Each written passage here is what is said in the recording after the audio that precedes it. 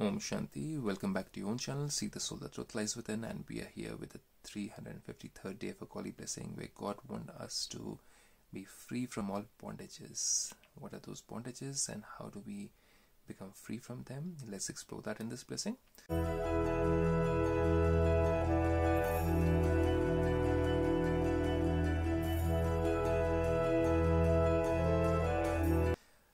Godfather says, May you be free from all bondages and experience the avyakt stage. Avyakt means angelic stage. Angelic means lighter in a mind.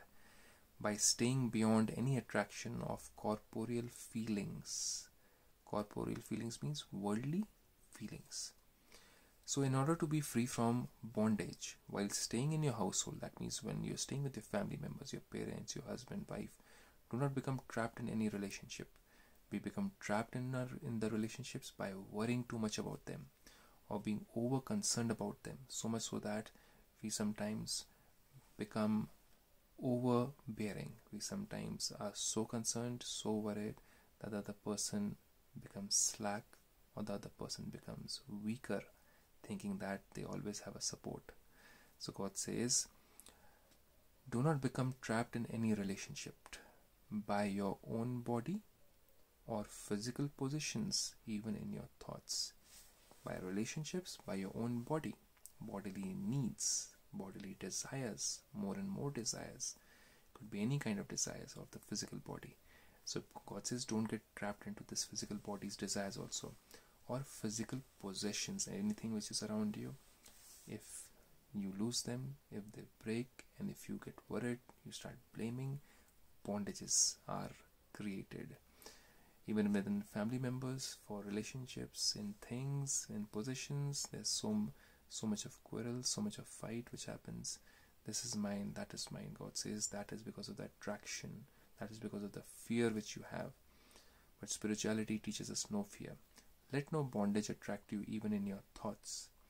Because if it enters your thoughts then after your thoughts it would be put into action too.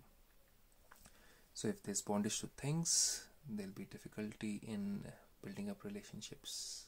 Selfishness will come in.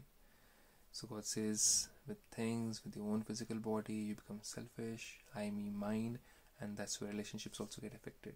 But if you have no attraction to physical desires to bodily desires to possessions automatically your relationship and your mind will be with yourself first and then with others be lighter.